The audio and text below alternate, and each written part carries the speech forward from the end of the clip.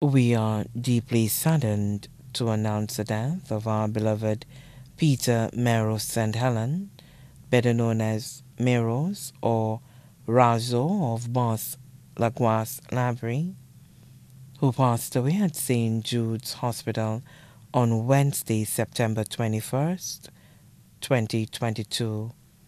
He was 69 years old. He was a retired customs officer left to mourn his wife, Bibiana St. Helen, a nurse employed at the Neurological Intensive Care Unit at Westchester Medical Hospital in New York.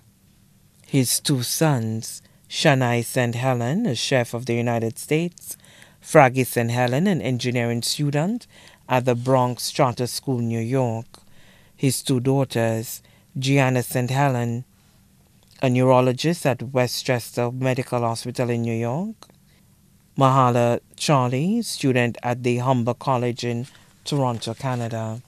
Three brothers, one sister, many nieces and nephews, including Aisha St. Helen of Boston Library. Close friend, Jonathan Hunt of Boston Library. The funeral arrangements for the late Peter Meros St. Helen better known as Meros or Razo of Bath Library, will be announced in a subsequent broadcast.